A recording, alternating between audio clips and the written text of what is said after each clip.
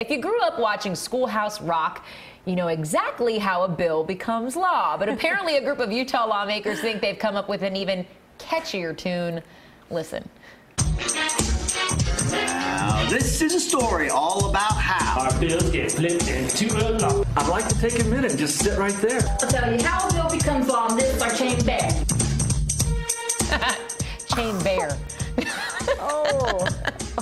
Well, apparently the Schoolhouse Rock song "I'm Just a Bill" was outdated, so the legislators decided to come up with something new based on the song that came out in 1990. But maybe they'll use a song from this millennium, another 28 years from now. The video shows lawmakers attempting, attempting Yeah. to rap lyrics about how the bill becomes law to go along with the theme song from The Fresh Prince of Bel Air. And this could have worked if they actually gotten Will Smith to write and perform the song. I, I have no words. Yeah, he's really active on social media now, so Yeah. maybe we'll see him do his own little version, and that will be a lot better than this one.